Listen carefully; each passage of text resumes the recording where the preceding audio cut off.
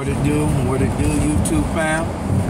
Uh, it's your boy D Light. Uh, just saying good day.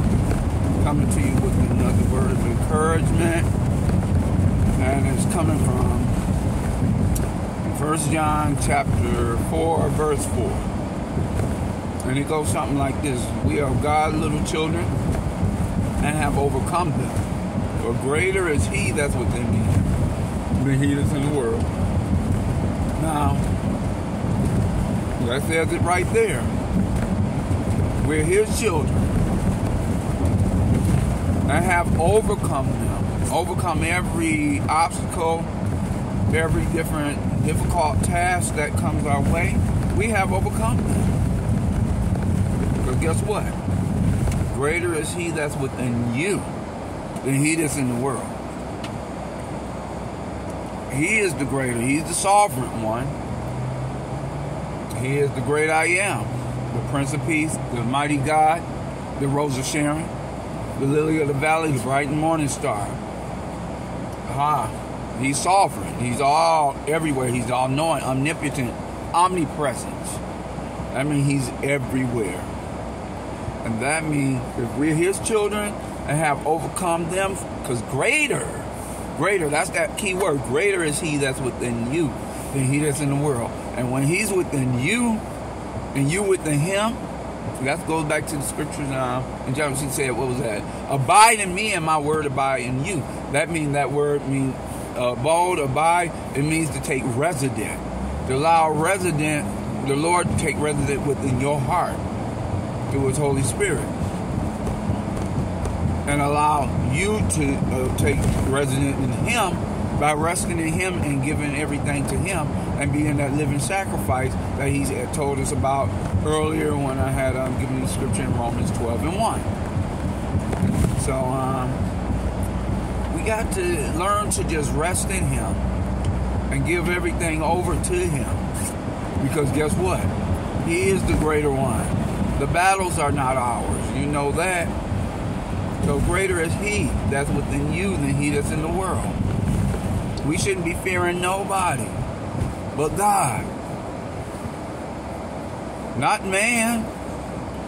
No, not even that. That goes even back to let nothing separate us from the love of God. For greater is he that's within you than he that's in the world. He's great above all things. Greater.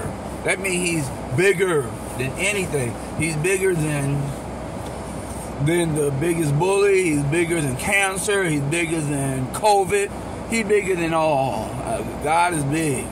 He's we serve a big and mighty God. And guess what? If he, if he, you, you know, if you go through it, God will see you through it. He's not to put too much on you that you can't bear. So that's why we got to realize that we are His little children and have overcome them. Overcome. Overcome meaning to overcome, you know, a task to conquer a task or to be victorious over um, something, victorious over uh, a stumbling block or a hurdle that tried to come your way. Come, mean victorious. We are overcomers. That's why it tells us in the scripture we are overcomers by the what the word of the um, the blood of the lamb and the words of our testimony, and loving not our life unto death. So what we got to realize when we learn to cast everything on Him, guess what? God's gonna take care of us. He's gonna see us through. He's gonna, you know, when, when it's dark, He's that light at the end of the tunnel. My brother, my sisters. Greater is he that's within you than he that's in the world. No devil in hell has nothing over our God. Don't you realize Satan is nothing but a fallen angel?